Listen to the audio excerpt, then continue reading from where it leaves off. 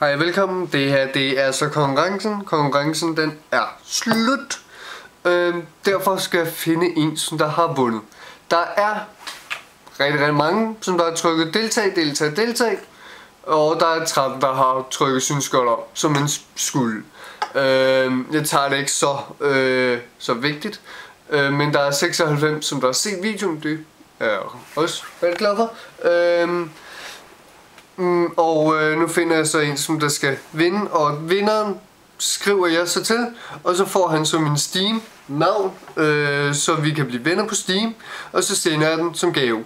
Øh, jeg tror ikke, der er andre måder, man kan gøre det på. Øh, så lad os gå i gang med at finde en vinder. Øh, nu går jeg, nu skal jeg lige vinde den her. Øh, nu, nu kigger I på skærmen, og jeg kigger på skærmen. Godt, så skal jeg lige bum bum vis. Nej, det var ikke den. Det var alle kommentarer.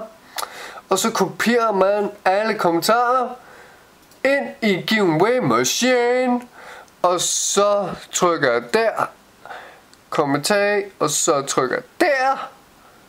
Og så står alle jeres dejlige navne der. Skønt. Og så trykker man der. Random bum bum bum, og så tænker den, og så skriver man så navnene ned der. Og hvis min kommer op gaming med øh, Blankom, så tager vi bare nummer to. Øh, og så random. Lad os se. Oh, det blev 2000 og ne og Nico Lag, tror jeg nok. Ja, så fandt vi sgu en venner. Lad os lige se, hvem han, hvad, hvad for en menneske han er. Uh, han er en person uden billede. Uh, lad os se, lad os se, lad os se. Uh, han har... Vum, vum, vum. Ja, ja, ja, det ser interessant ud. uh, han har abonnement mig. Skønt. Dejligt. Uh, det står lige der. Uh, jamen, tillykke med det. Uh, det er da super dejligt. Jeg sender en besked til dig. Det kan jeg gøre nu. Nej, det kan jeg ikke. Øhm, men det skal jeg nok gøre. Øhm, tillykke. Du vandt. Øh, du bliver venner med mig på Steam. Og hvis du ikke har Steam, så forstår jeg slet ikke, hvorfor du er deltaget.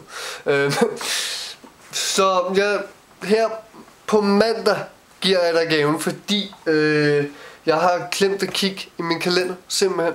Der er stor fest hos min store søster. Øh, store søster. Øhm, så jeg har altså slet ikke på computeren om lørdagen. Og søndag der har jeg ikke tømmermænd. Så det sender, øh, jeg ved det er mig? Ah, ja. Nå, øhm, så det kan vi jo slet, slet ikke bruge til noget.